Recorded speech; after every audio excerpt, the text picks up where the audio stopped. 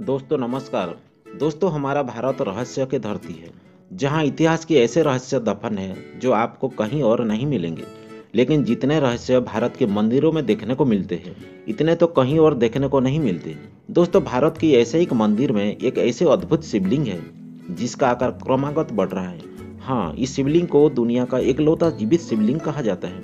ये मंदिर मौजूद है मध्य प्रदेश के खजुराहो में। उस पूरे एरिया को वर्ल्ड हेरिटेज साइट घोषित किया जा चुका है। क्योंकि यहाँ एक से बढ़कर एक शिल्प कला की नमूना देखने को मिल जाएँगी। दोस्तों, इसे देखने के लिए दुनिया भर से भक्तों की भारी भीड़ हर रोज यहाँ आती है। इन्हीं के बीच यहाँ स्थित है मतंगेश्वर मंदिर। इस मंदिर के गर्भगृह में स्थित है एक रहस्यमय शिवलिंग। इस शिवलिंग की ऊंचाई नौ फीट मापी जा चुकी है और कहा जाता है यह शिवलिंग जितना धरती के ऊपर है, उतना धरती के नीचे माना जाता है। ये शिवलिंग हर साल एक इंच के बराबर बड़ा हो रहा है और हर साल इस मंदिर के पुजारी द्वारा इसे मापा जाता है।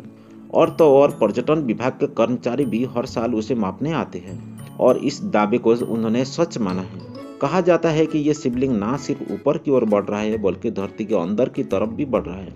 यानी इस शिवलिंग के आकार हर समय एक समान रहता है, चाहे वह धरती के ऊपर हो या धरती के नीचे।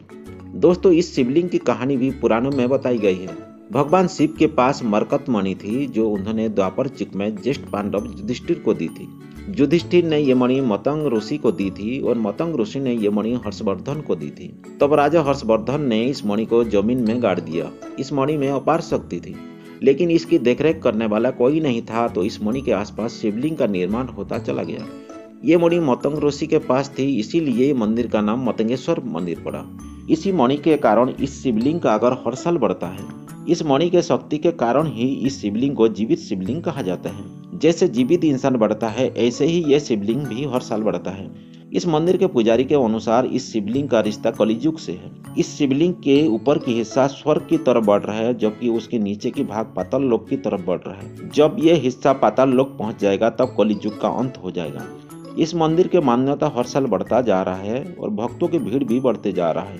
और हर वो पर्यटक जो खजुराहो आता है वह इस जीवित शिवलिंग को देखने ज़रूर आता है। दोस्तों, अगर आपके जीवन में इसी शिवलिंग की कृपा से कोई भी चमत्कार हुआ हो तो कमेंट्स पर ज़रूर बताइए ताकि दूसरे को भी ये सब पता चल सके।